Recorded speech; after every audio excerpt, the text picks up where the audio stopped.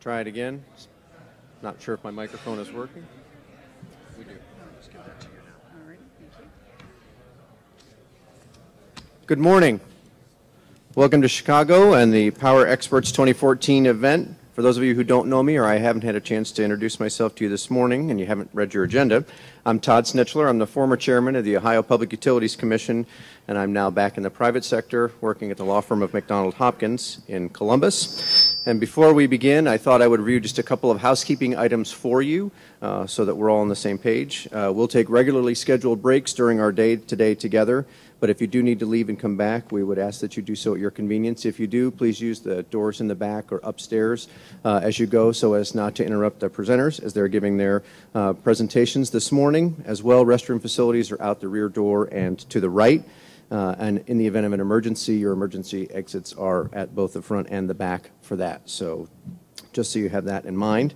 Uh, before we begin, we'd like to take a moment to thank our sponsors, and you'll find them in your program, of course. But Nalco is our platinum sponsor uh, for the event today and tomorrow. Great Lakes Solutions is our gold sponsor, and then we have a number of silver sponsors, which include Calgon Carbon, TRC, Fuel Tech, Novinda and Golden Specialty. And certainly they are uh, here and we're grateful for their support, uh, as well as the fact that we have a number of exhibitors, including these fine folks uh, who are upstairs uh, in both rooms. And we would ask you to try and uh, see the exhibitors in both of the rooms that are upstairs.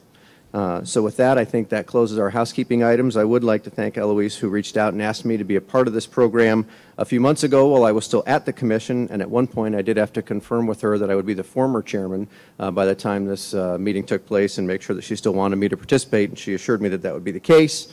So with any luck, I'll do well enough that this will not be my last engagement of this sort. So with that and the pressure firmly on me to do well and for you, we uh, have a great program for you today. I had some comments, but we started a little late, so I'm going to hold those and maybe we'll talk about those tomorrow.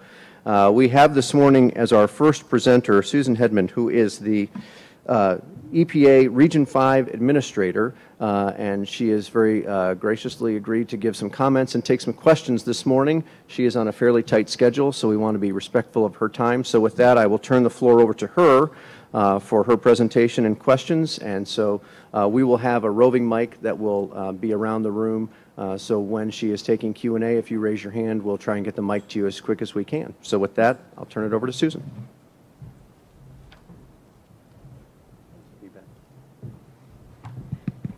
Thanks very much, and, and uh, good morning. I'm very pleased to be here today um, to help kick off your conference with an update on U.S. EPA clean air standards for the electric power sector. I'll spend most of my time this morning discussing carbon standards, um, the standards that EPA recently proposed for new and existing power plants. But I'd first like to take a few minutes to provide a quick update on two actions that EPA initiated during President Obama's first term, starting with the cross-state air pollution rule, which EPA proposed in 2010 to, to address widespread violations of air quality standards in counties throughout the eastern United States. Violations that are occurring despite these counties' best efforts to comply because sources of air pollution in neighboring states impact their air quality. The Cross-State Air Pollution Rule, or CSAPR, is designed to make it possible for almost 200 of these counties to meet EPA's current ozone and fine particulate standards, which would result in significant health benefits. Unfortunately, the millions of people who reside in those counties have been forced to wait for those health benefits. The cross-state air pollution rule was to take effect at the beginning of 2012, but the D.C. Circuit stayed the rule in response to legal challenges filed by several states and electric generating companies. However, in late April, there was some good news for the people living in these non-attainment areas. At the end of April, the U.S. Supreme Court reversed the Court of Appeals, holding that the approach that EPA used to develop the cross-state air pollution rule is permissible, is permissible, workable, and equitable. So we are currently on remand back in the Court of Appeals with briefs due in early July.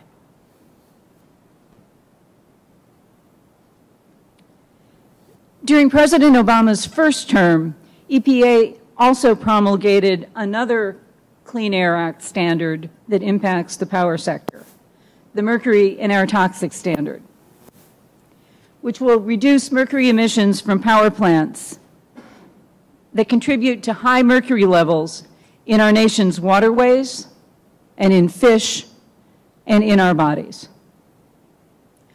A number of states already have mercury limits in place. But that has not been enough to address this widespread problem. Hence, the need for a uniform federal mercury standard that applies to power plants in every state. The mercury and air toxic standards will also reduce power plant emissions of acid gases that cause lung damage and contribute to asthma, bronchitis, and chronic respiratory diseases, especially in children and the elderly. I'm pleased to report that in mid-April, the D.C. Circuit rejected a legal challenge to the mercury and air toxic standard by several states and electric generating companies. So, starting in 2015, the deadline for most power plants to install controls to comply with the mercury and air toxic standard will be seeing immediate reductions in mercury emissions and acid gases and immediate public health benefits. Now let's turn our attention to greenhouse gases and to climate change. If you're interested in an up-to-date overview of the impacts of climate change in the United States, I'd encourage you to take a look at the recent National Climate Assessment, which was released by the federal government last month. It can be accessed online at globalchange.gov. The new National Climate Assessment includes data collected from 1900 to the present that tracks a number of indicators relating to climate change, including temperature, precipitation, and the increasing frequency of extreme precipitation events that overwhelm water infrastructure, causing floods and sewer overflows that contaminate our waterways. This photo shows Chicago's lakefront after one of the combined sewer overflows that occurred last year. To address these problems, last June, the White House issued the President's Climate Action Plan, which calls on EPA and other federal agencies to work with states to reduce carbon emissions. The Climate Action Plan also directs EPA and other federal agencies to work with states, tribes, and municipalities to protect our country from the impacts of climate change and to lead international efforts to address climate change.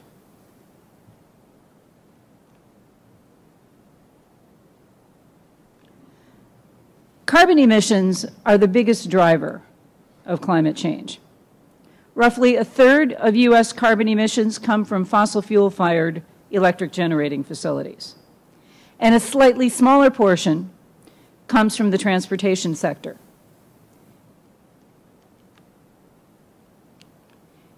EPA's work to improve fuel economy standards, starting during President Obama's first term and continuing today, is already beginning to reduce carbon emissions from cars and trucks. And it's saving money for consumers. Now EPA is shifting focus to carbon emissions from the electric power sector. As the President's Climate Action Plan points out, at present, there are no federal standards in place to limit carbon pollution from power plants. But that is about to change. Last June, on the day that the Climate Action Plan was released, President Obama gave a speech at Georgetown University laying out his commitment to take action on this issue and directing EPA to, quote, put an end to the limitless dumping of carbon pollution from our power plants and to complete new pollution standards for both new and existing power plants.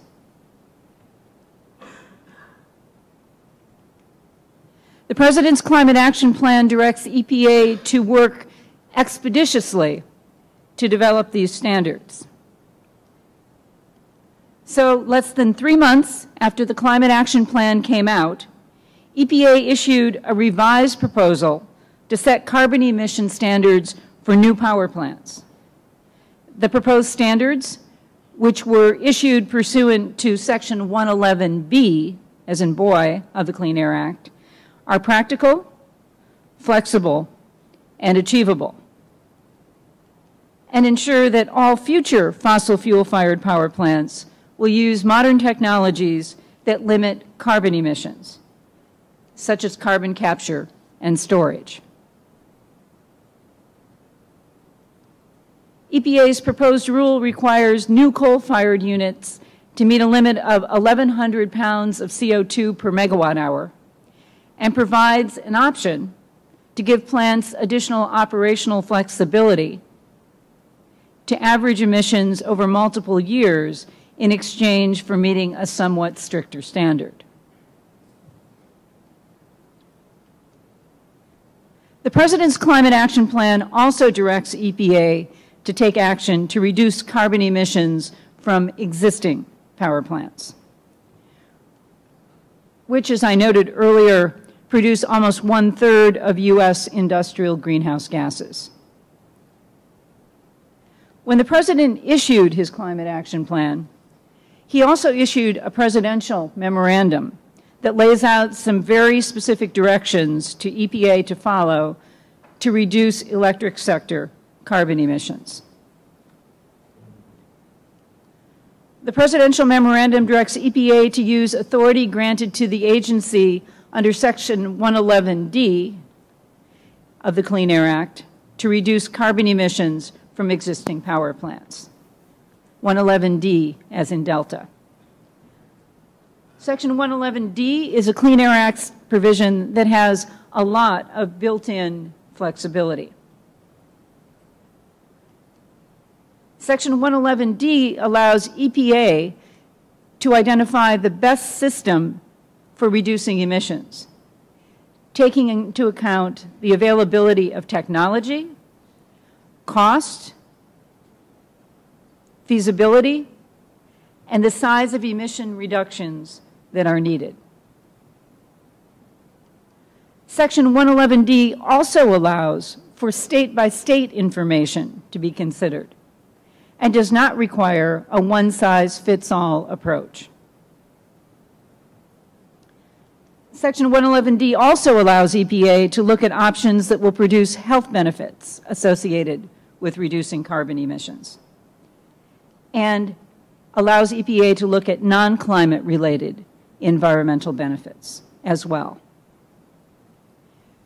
Previous EPA standards that relied on Section 111D of the Clean Air Act have focused on add-on control technologies like scrubbers that are technically feasible to deploy at virtually any facility. However, there are a wide variety of other ways to reduce carbon emissions from power plants that are commercially available, technically feasible,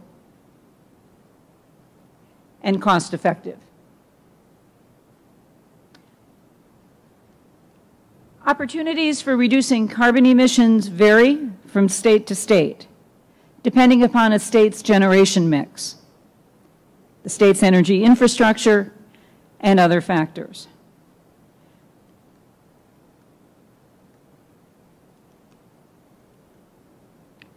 The President's Memorandum on Power Sector Carbon Pollution Standards directed EPA to propose carbon pollution standards for existing power plants by June of this year, which gave the agency several months to solicit ideas about the best way to proceed.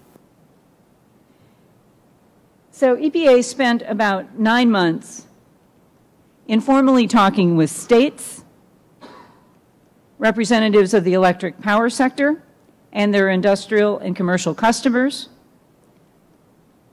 labor unions, and non-governmental organizations.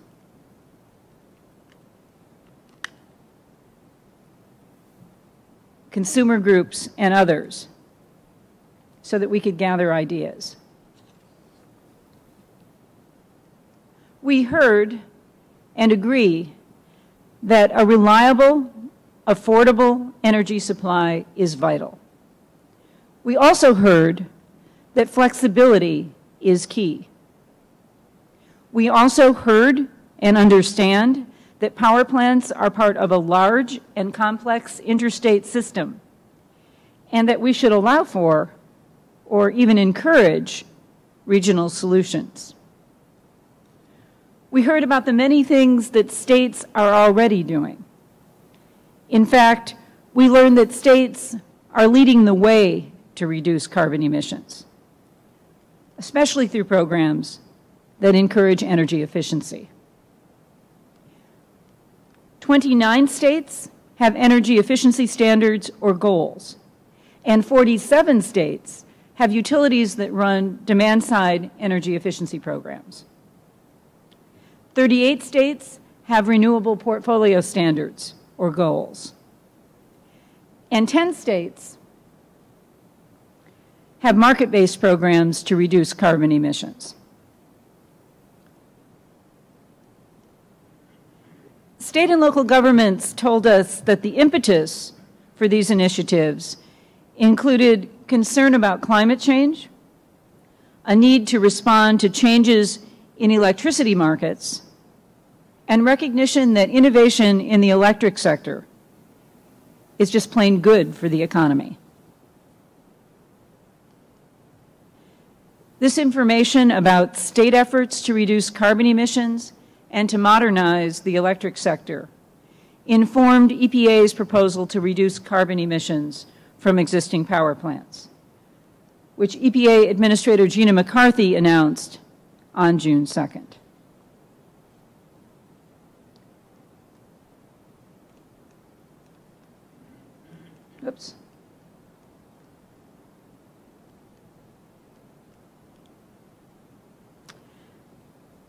Here's the basic structure of EPA's proposal, which we call the Clean Power Plan. EPA has proposed a goal for each state to reduce carbon pollution. The goal is based on a Section 111D analysis to determine the best system of emission reduction. This analysis, in turn, looks at what states are already doing to improve energy efficiency, and to encourage reliance on low-carbon energy resources. States choose how they will meet the goal and develop a plan to do so by no later than 2030. So how did EPA establish the individual state goals in the Clean Power Plan? EPA analyze the practical and affordable strategies that states and utilities are already using to lower carbon pollution from the power sector. EPA also analyzed historical data about emissions and the power sector to create a consistent national formula. Here's the basic formula used to calculate each state's goal. The numerator in this formula is the sum of carbon dioxide emissions at covered fossil fuel-fired power plants in the state. Pounds of carbon dioxide. The denominator is the sum of megawatt hours of electricity generated by all fossil fuel-fired power plants in a state, plus other types of power generation like renewables and some nuclear, as well as megawatt hour savings realized through energy efficiency programs. So the denominator is megawatt hours, which results in a rate of pounds per megawatt hour. States do have the option of converting that rate to a mass-based goal as well. EPA applied this formula to each state's specific data to calculate each state's goal for the carbon intensity of covered existing fossil fuel fired power plants in each state. If you want to take a closer look at the formula, and I encourage you to do that, and the individual calculations for the goals for each state, you can go to EPA's website where you'll find technical support documents and spreadsheets for each state.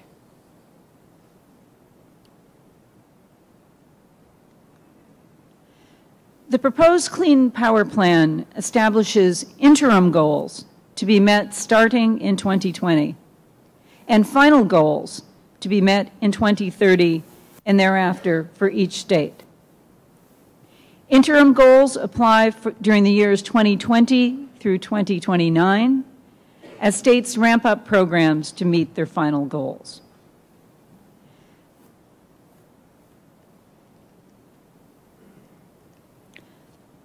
The Clean Power Plan gives states significant flexibility with respect to the timing of their carbon pollution reductions. For instance, a state could choose to meet the 2030 goal by making steady, incremental emission reductions each year, essentially following the path represented by the red line on this graph. Or, as the S-curve on the graph illustrates, some states might choose to spend the early years ramping up their programs getting fewer emissions reductions in the early years and more in later years. EPA expects the timing of carbon emission reductions in each state to vary depending on the state's situation. Some states have existing programs that are already achieving results, and those programs can be readily expanded to reduce carbon intensity. Some types of measures are more easily implemented and or may produce immediate emissions reductions. For instance, early emphasis on effective implementation of energy efficiency programs could help to postpone or avoid more expensive measures. On the other hand, some types of measures may require longer to implement and or realize reductions in carbon emissions. For instance, new multi-state programs or additions to existing multi-state programs may need a longer period of time to set up and to achieve goals. EPA used four building blocks to establish state goals. The first building block is making fossil fuel fired power plants more efficient. The second building block is using lower power, emitting power sources. For instance, increasing use of existing natural gas combined cycle facilities and dispatching coal-fired facilities less often.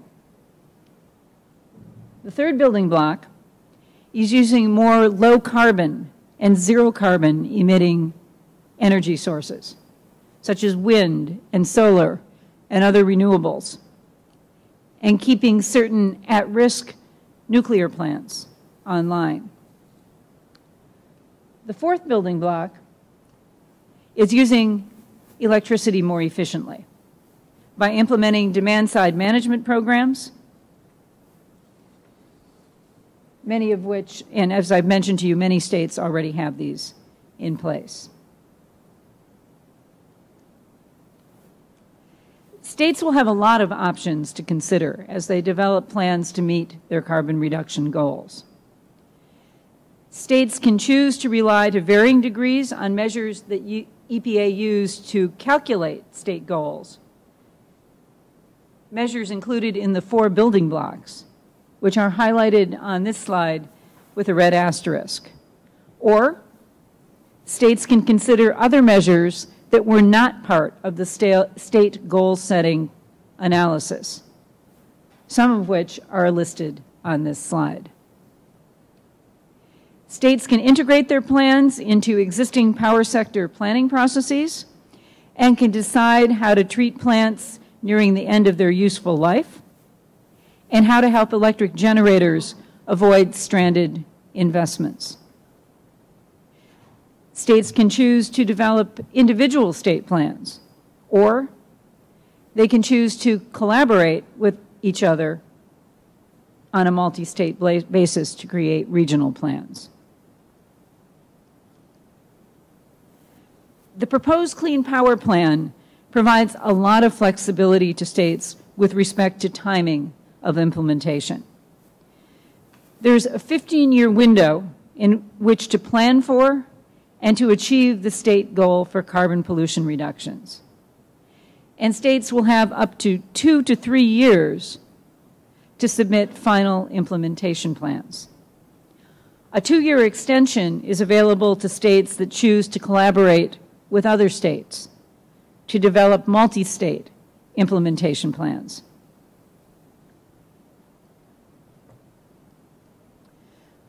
When fully implemented in 2030, EPA estimates that the proposed Clean Power Plan will reduce carbon emissions from power plants by 30 percent.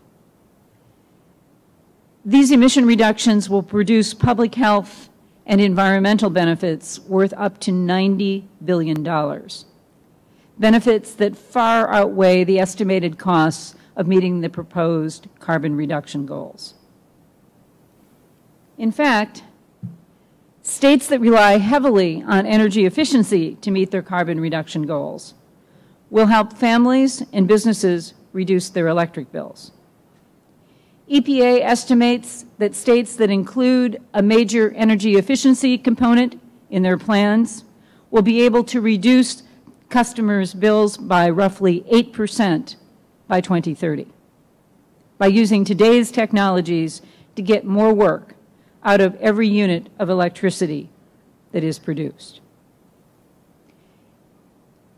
Even with these significant investments in energy efficiency, and increased investments in low carbon resources to meet state goals under EPA's carbon or clean power plan.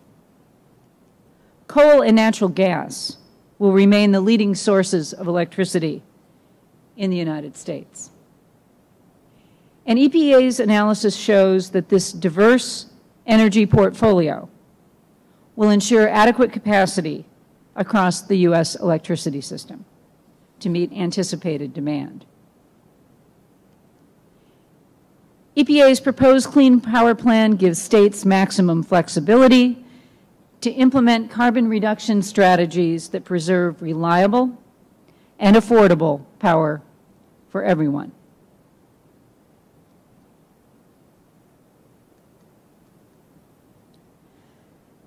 The proposed Clean Power Plan and supporting technical materials as well as information about how to submit comments on the proposal, are available on EPA's website.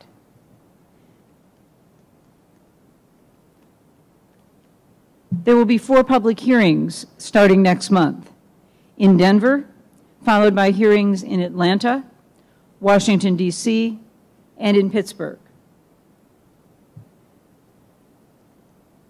At this point, this is very much a proposal. And we look forward to your comments on the proposed Clean Power Plan. We want to hear from you. So thank you for listening this morning, um, but we look forward to your comments. Thank you.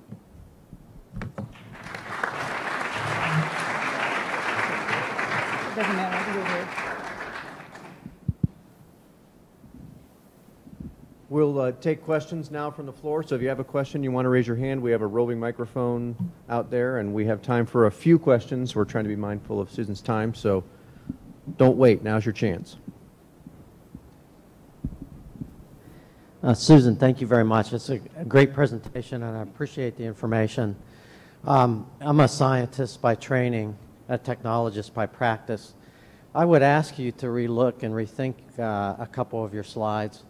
The last time I looked, carbon dioxide was a clear, colorless, odorless gas.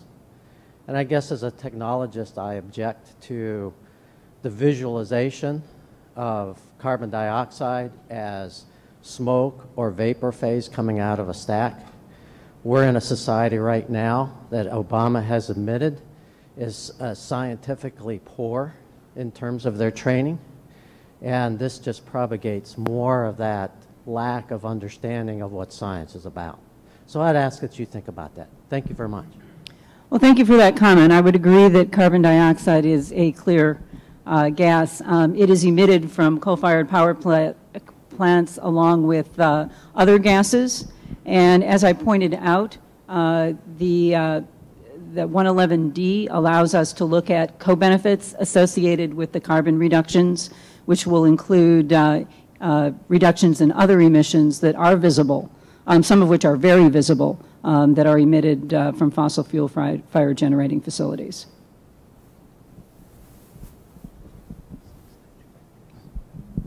Uh, hi, John Lemcooler with uh, Great Lakes Solutions.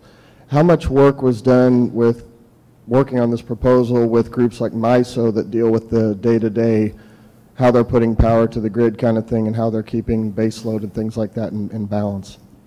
Um, dur during the, the, form, the informal uh, process, um, EPA met with MISO and PJM and uh, other ISOs uh, on many occasions. Um, I'm familiar with the meetings with MISO and PJM uh, because those affect uh, the region where uh, Region 5 is located. Um, there was a lot of discussion. Um, I think some of you may even be familiar with some of the proposals that were developed um, by the ISOs um, to uh, talk about uh, taking on processes of, of tracking some of this. Um, Reliability is uh, an issue that is very much, uh, was very much on EPA's mind as we uh, put together this proposal. And uh, we worked very closely um, with uh, the regional transmission organizations as we developed it. I, I personally sat through uh, several of those meetings. Next question.